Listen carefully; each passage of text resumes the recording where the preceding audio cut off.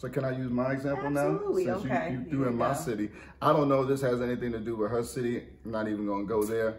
But maybe this is a, a gender thing, and you know, please give me your comments or your emails or whatever you got to say, Eat them up. uh, females, ladies. But And please don't call the ladies females. I hate that term. This is just a side Oh, note. wow. I hate the term females. Not because we're not female by gender, there are male and females, but the way that culture uses the word females is so degrading. I would much rather the women or the female gender be called women, ladies, girls, even as opposed to females, because the way the culture uses is like, yeah, these females out here, and you know, I can't stand when females do even women use that word and it just sounds fully fully degrading to me i'm sorry this is just a side note i'm making so she just got angry, and we just i was worked through it. we, we communicated. Yeah. She expressed herself. I Uh, listened. yes. And I heard what she said. So I'm not going to call y'all females anymore. I'm going to call y'all women, ladies, Yes. girls, yes um, opposite sex. Is that okay? all that but not female not females. Okay. so my thing with how when we get into or used to get into arguments and still do sometimes, Mm-hmm. Yeah. we're not perfect. yeah we're not saying But so we could be arguing over um I didn't take the garbage out. hmm And so something as simple as that, just something minuscule, something that really is not going to uh, cause any type of devastation to our lives. according to you uh-huh. You know, so I didn't take the garbage out when she asked me to. okay And so I'm sitting watching the game and watching TV and, you know, minding my own business. And it's been two hours since she asked me and the garbage is still sitting there. Now she's like, why did not, did I not take out the garbage?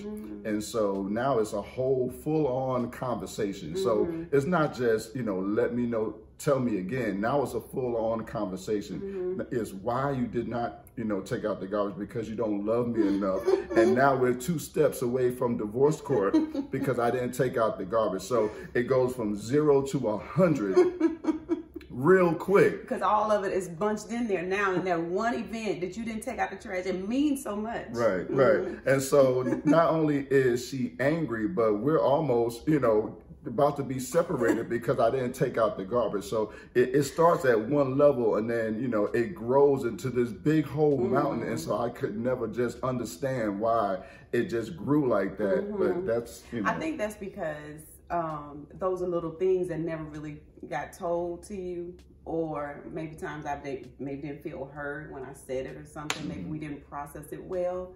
Um, because there is a, a healthy way to process and, and hear each other out. So then, really, your broken record does not have to be, you know, you don't have to keep repeating the same story mm-hmm. or the same frustration. Because if you if you learn the art of reflective listening, here go clinical, but you know, if you learn the art of reflective listening, where you basically say, okay, what I hear you saying is that it just bothered me that you didn't take the trash out this time because it feels like you were disregarding what I had to say. Mm-hmm. Oh, as opposed to, what's wrong with her? Why are you mm-hmm. always acting up? Why you, you know, you going mm-hmm. off? So that art of reflective listening gives me the chance to say, yeah, that really bothered me. Then he can say, okay, I get it. I, I understand. I didn't really intend for it to be like that. What I I, I, I was going to get to, I just didn't realize it would have bothered you this way because I would have gotten to it earlier.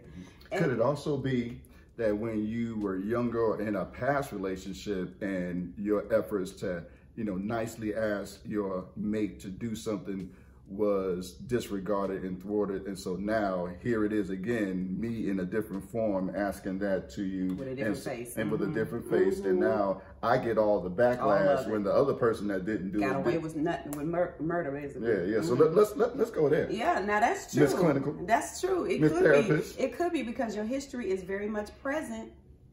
And when your history is present and you haven't processed your history properly, that can come into your present, Mm-hmm. your present state, and create and run, ru- create havoc. hmm Because just like you're saying, I might be pulling in some stuff that happened that had nothing to do with you, That's right. but it look and feel the same. Yeah, so let's say that. Let's say that. Let- But I let don't think that would be anything relative to that trash can situation. It could be circumstantial. Mhm. Of course it can. It, Of course it, It can. can be and that's how I diffuse arguments. oh of course goodness. it can. It, You're right. Too, That's not You're true. right. No, because that's You're always that's going right. flat. That's going flat. We don't want to go flat. We have to stay engaged and stay active. And that was something else. He was it was stonewall me. That would be like that's what this is. Just okay. I'm not even here. Yeah, whatever you say, man. Mhm. Whatever you say, Gotcha. babe. Mm-hmm. It's yeah, and that is invalidating too.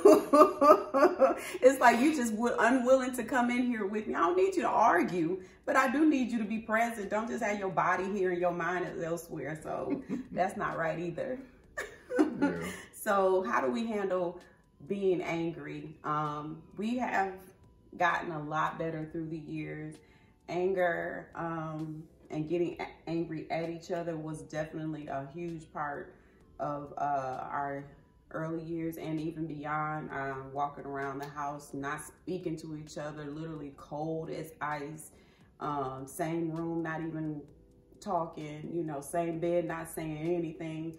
Um, some of that foolery, uh, but it was the truth. Mhm. Now, what we should do, and what we do a little bit better at now is, um, I know you know the, the scripture does say, "Don't let the sun go down on your wrath." Oh, we went. You let the sun go down on our wrath it- many yeah, nights. many nights it went down on our wrath. We were so so out of out of order.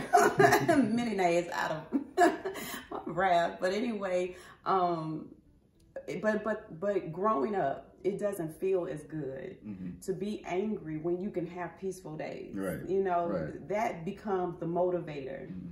More than the angry issue. Yeah, and, and that's my thing is to always have peace and to make sure that there's a climate of peace in the house because when there's a climate of peace in the house, it fosters growth for communication, conversation. You know, um, we can be angry at each other, but we can still communicate and get business done. You know, the kids don't feel like, okay, something's going on with mom and dad, so let me just stay clear. Or can I ask, you know, a certain question, a simple question to my parents, you know, mm-hmm. when they're angry. And, you know, now that I brought that up, you know, you should not argue back and forth with your spouse in front of your children because mm-hmm. that creates confusion as to what's going on. And now your kids are put in a position where they have to pick sides. You know, if they're going to choose the dad side, they're going to choose the mom side.